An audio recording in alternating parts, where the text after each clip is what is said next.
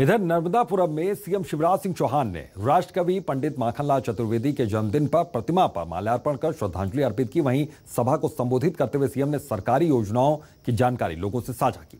साथ ही खेतों को जलाने को लेकर किसानों को नसीहत दी।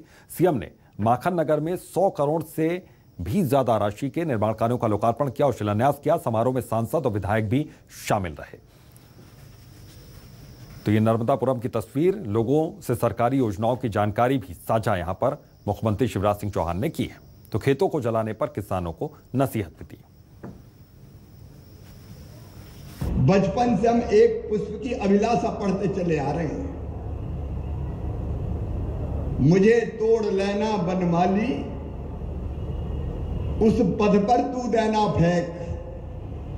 मातृभूमि पर शीश चढ़ाने जिस पथ जाए वीर अनेक।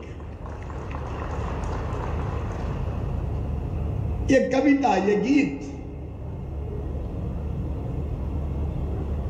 केवल मध्य प्रदेश में नहीं है, पूरे हिंदुस्तान की फिजाओं में गूंजाए। और वीर और क्रांतिकारियों के प्रति एक आदर का भाव पैदा किया। बाबई का नाम माखन नगर हुआ एक भारतीय आत्मा थे। दादा माखनलाल चतुर्वेदी। इस धरती की इस, इस माटी की सुगंध को पूरी दुनिया में फैलाया दादा माखनलाल चतुर्वेदी जी ने।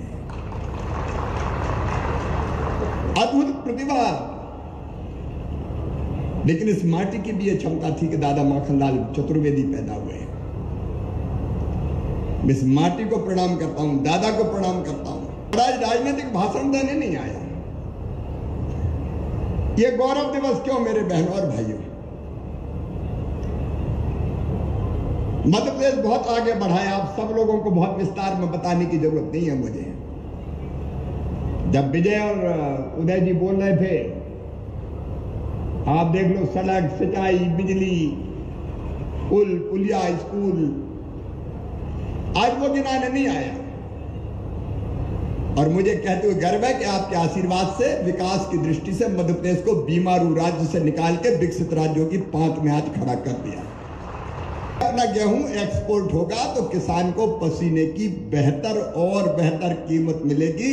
और मैं मैं ये चाहता हूँ कि मध्य प्रदेश की धरती का, इस माटी का गेहूँ गोल्डन ग्रैंड कहलाता गोल्डन ग्रैंड एमपी वीट बाहर इसको कहते हैं एमपी वीट दिल्ली, बंबई में कहीं का भी गेहूँ हो, वो भरते इसी नाम से एमपी वीट ताकि उसका आटा भी बिक जाए और वो गेहूँ भी बिक जाए. बड़े बड़े विज्ञापन देखते हैं आप टीवी में, सोने जैसे दाने. वो दाने कहाँ के अपनी तो दाने हैं एक बार अगर अपनी साख पूरी दुनिया में स्थापित हो गई तो मध्य प्रदेश का गेहूँ, ये रूस, यूक्रेन को कोई पूछेगा नहीं, फिर भट्टे के भाव अपने गेहूँ जाएगा दुनिया भर में।